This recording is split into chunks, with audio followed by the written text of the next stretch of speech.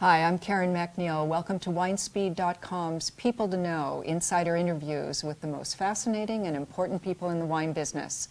And today we're in the Willamette Valley with Clare Carver, who is the co proprietor of Big Table Farm, one of the most celebrated small wineries in the Willamette Valley. Um, very highly uh, thought of, highly rated. In fact, um, Clare, you, um, your wines have been in several top 100 lists this last couple of years. But you and your husband Brian have been um, have been at it for, for a good decade. Um, why do you think? Um, why is it only now that people are realizing, in a sense, the brilliance of your wines? Um, uh, so Brian started in wine in 1996, and uh, one of the people he worked for was Helen Turley. And she had a, a response one time when someone asked her a really similar question. And her quote was, Oh, yeah, I'm an overnight success, 30 years in the making, yeah. or something like that.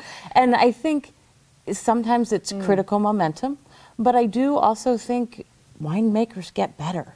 Mm-hmm. God, I hope we do, right? Yes. And as an artist, I get better. And just as a creative person, and you, as long as you're someone who's striving, you're constantly self criticizing in a positive way so that you can move forward.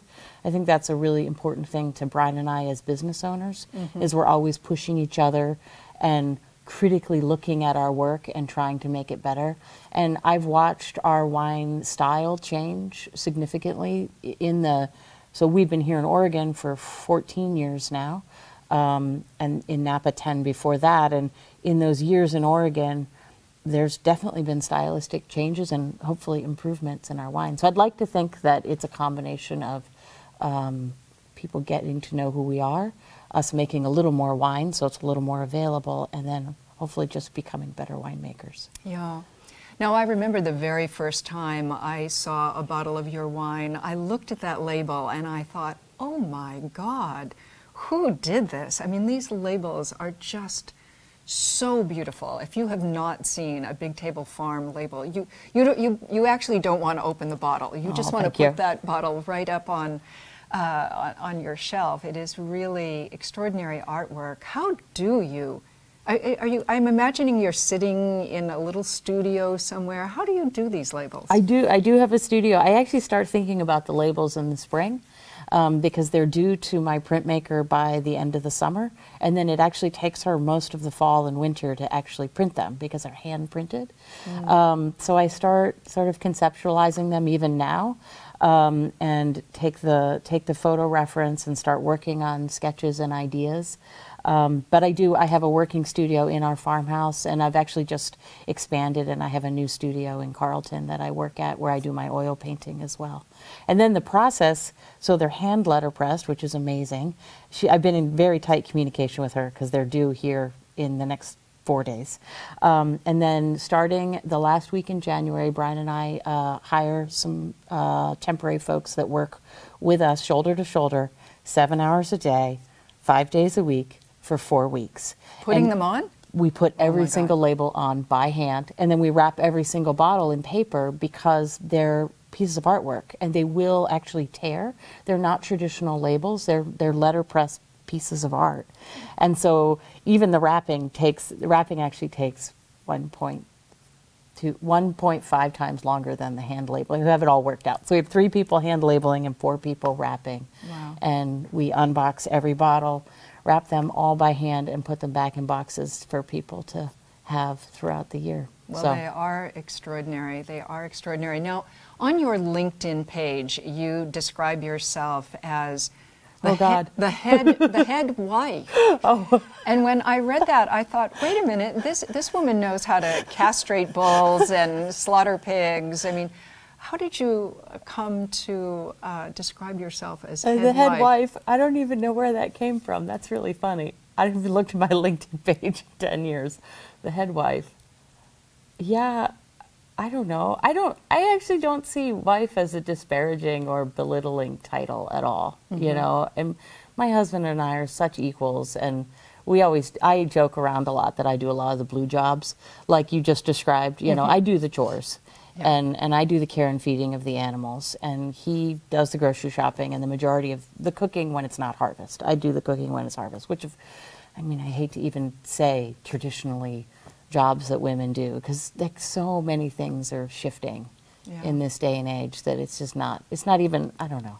It's not even a relevant conversation, but I don't know where I came up with head wife, as if there's another wife. I know. I, I thought do, about that I, too. I do have a running joke with my husband that he could have another wife as long as I'm the head wife, which I maybe that's where it came from. Of course, my husband's the last person on the planet who would have another wife, but um, yeah, I, that's it's maybe I should change that. well, yeah. Um, tell us a little bit about how you designed and built your winery, because for a time you made wine in, in another facility. We did, yeah. Uh, ooh, that's a long story. How much time do we have? Yeah, only a short amount of time. okay. Um, so there were multiple things when we started our business. I think you know this. We started with five thousand dollars, and so we were custom crush. We started with only 150 cases. So we just did not have the money to build a winery. Period.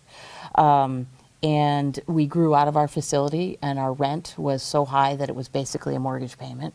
But even at that point, we didn't have enough money saved in our business savings to even do a construction project. So uh, we kind of kind of kept hitting walls with banks, and at that time, this was in 2013. Uh, a lot of crowdfunding was happening, and I said to Brian, "Let's just try this." And he said, "Okay, but if if you get anybody to do it, which I don't think you will, you have to cap it at 100 people." I'm like, "Okay, fine." So within six weeks, we had 100 people who gave us $1,700 each. And that was the large part of the capital, including our own money, and then a loan against our house um, with which to build the winery. So that it is a lot of money, but it's not a huge budget. So the winery had to be lean and mean, mm-hmm. but at the same time, we needed to build something that uh, paid respect to the history of our homestead. We live uh, in this beautiful homestead, 70 acres, the house was built in 1890. So we designed the winery to look like the barn that we had built on the property to replicate the historic barn. Um, so we spent a lot of time driving around the county and looking at barns and sort of understanding that architecture. So it's a very simple building. From the outside, it looks like a barn. Inside, it's all timber frame. Um, the walls are actually made of structural insulated panels, so the energy use is very, very low. The main part of the winery is heated and cooled with one mini split, which is amazing, and mm. some fans. Um, so very well insulated. Um, all the gutters are tied together for water catchment, and we've just finished the solar project. So it is a uh, it is a building with uh, with almost no footprint, and that was definitely a goal. Yeah, how incredible! Um, why is Oregon so exciting at the moment? I mean, I I think about um, you know, so many major articles in the last year, including some I think that I've contributed to, um, have named Oregon and specifically the Willamette Valley as one of, if not the most exciting wine region in America. What do you think is making it so exciting right now? I think um, people love stories. Mm. And stories are really important to wine because they inspire us. It's what we were talking about earlier. You, you're relaxed and inspired when you have a glass of wine. And um, a story of you know small businesses or entrepreneurs or people who are farming or people who are um, setting out into their business in a very creative way that um, uh, reflects their personality in an intimate way is a, you're able to do that in Oregon because it's still relatively affordable compared to some other regions, and so there's a little more creative freedom um, to because you're not so hamstrung by just these insurmountable budgets, mm. and and I that uh, that's just my little lens. I mean, that's where Brian and I had come from, and so that's the that's the story that I tell. That that's my own experience that people have resonated with. So that's that's my only lens. And so I've gotten a lot of positive feedback from people who visited, like, oh, that's why we come to Oregon because we meet people like you and Brian who are who've run your own path creatively. And I feel like not being hemmed in by debt and stress about money. I mean, there's always stress about money, but um, being in a region where we could get in at the ground floor without a huge investment or, you know, any financial backing is exciting. Yeah, yeah. So that's just my own experience. Thank Yeah. you, Clare.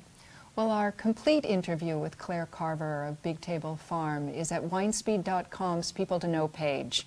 You'll really enjoy it.